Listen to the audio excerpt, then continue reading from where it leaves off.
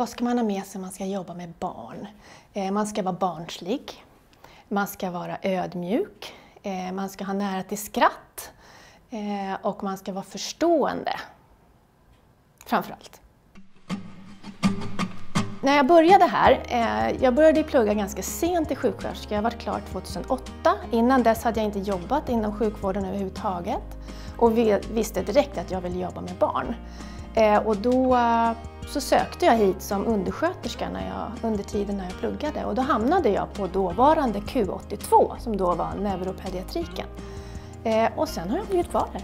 På vår avdelning så har vi ju många barn med hjärnskador, epilepsier, hjärntumörer, ortopedbarn, mycket frakturer eh, och eh, reumatologbarn med olika reumatiska sjukdomar. Men jag är främst på neurologsidan, det är det jag har jobbat med hela tiden. Eh, och främst epilepsi. Jag är kvar därför att det är ju så himla roligt jobb. Eh, det är väldigt rolig och härlig personal. Det är ett givande jobb, man får väldigt mycket tillbaka från föräldrar och från barnen. Och vi har väldigt roligt på jobbet.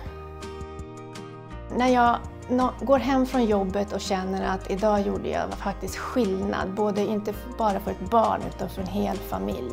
Och sen är jag stolt över hela min, mina kollegor och allt, hela vår avdelning.